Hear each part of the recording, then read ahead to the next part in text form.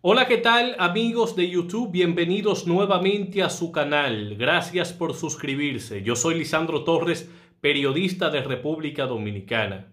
Continúa la epidemia de violencia que azota República Dominicana, cobrando las vidas de jovencitos, prácticamente niños.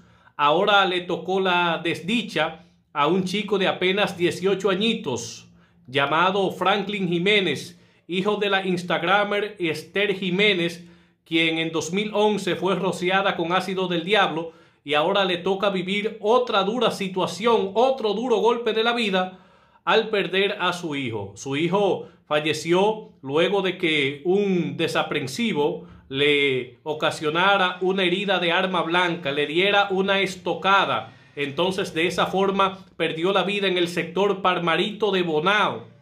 Eh, al delincuente le llaman baraja. El cuerpo sin vida se encontraba hace unas horas en la morgue del hospital de Bonao para ser entregado luego del proceso correspondiente a los familiares. A continuación les vamos a compartir las palabras de la madre de Franklin Jiménez de apenas 18 años, quien perdió la vida de una manera tan sangrienta. La, madre no puede ni siquiera hablar, eh, ha recibido varios golpes eh, de la vida porque en 2011 ella fue rociada, como dijimos en principio, con ácido del diablo. Luego ella perdió a su madre porque la madre no aguantó verla así, desfigurada y en mal estado y el dolor terminó quitándole la vida a la madre y ahora ella pierde un hijo. ¡Wow! ¿Cuántas pruebas ha tenido esta joven madre que pasar? Esther Jiménez ahora pierde a su hijo Franklin Jiménez a manos de un desaprensivo al que le apodan Barajo Baraja en Palmarito Bonao. Dice ella que ahora ella entiende por qué su madre murió cuando a ella le rociaron el ácido. Dice ella que ahora al perder un hijo sabe el dolor indescriptible que se vive como madre cuando se ve a un hijo en mal estado o éste pierde la vida. Qué pena. Escuchemos. Buenos días, mi gente.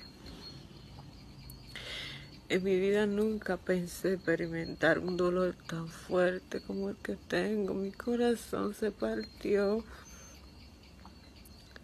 Se fue un pedazo de mí. Es un dolor tan grande.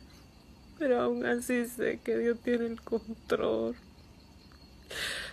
No aguanto mi ojito de tanto llorar. No sé. Oren para que Dios me dé consuelo porque la verdad no sé.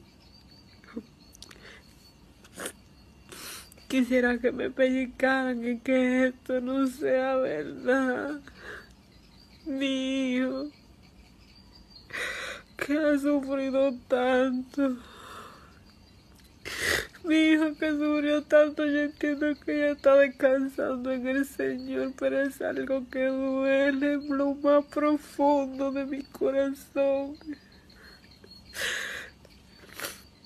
En este momento entiendo por qué mi madre no resistió verme así como yo estaba y se murió, porque es un dolor muy grande.